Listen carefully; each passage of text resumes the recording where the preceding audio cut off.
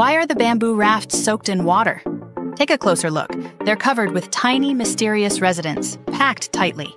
Flip one over, and you'll find these bamboo rafts are like houses for snails. Farmers place the bamboo rafts in the breeding pond and introduce mountain spring water. As the water flows over the bamboo poles, it creates an oxygen rich eddy.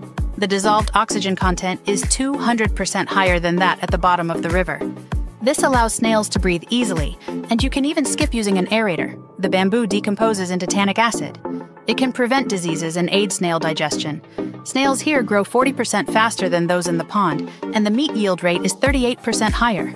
Also, diatoms can grow in the bamboo raft's shadows, serving as free food for the snails.